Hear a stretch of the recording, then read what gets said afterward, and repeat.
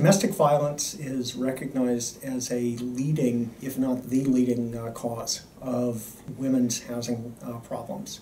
Uh, and uh, there are data available uh, from administrative records in Australia that show that when women show up to uh, ask for housing assistance and housing services, about one in three uh, cite uh, domestic violence as the reason why they're seeking uh, those uh, services.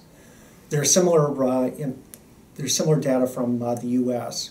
So researchers have gone and asked homeless women why they're homeless and what caused their last housing change, and about one in four U.S. women either say domestic violence was the reason why they left or a reason why uh, they left. For men, uh, what we're finding is that uh, violence is an even bigger cause than for women. So women suffer higher rates of domestic violence. They also suffer uh, higher rates of uh, sexual uh, violence. But men suffer higher rates of violence overall. So for the Journeys Home sample, which is an extremely disadvantaged uh, sample, so it's not representative of all public assistance clients, uh, much less uh, all uh, Australians.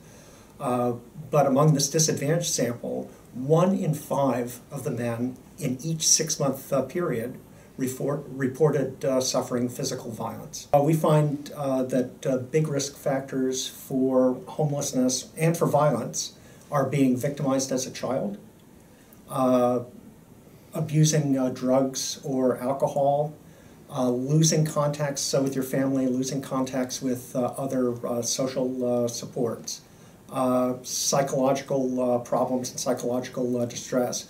So the things that people commonly think of for both men and women as causes of homelessness. Uh, the thing that's unique in our Rust study is taking a look at violence as a cause of men's homelessness in addition to being a cause of uh, women's homelessness, and finding a very, very large uh, effect.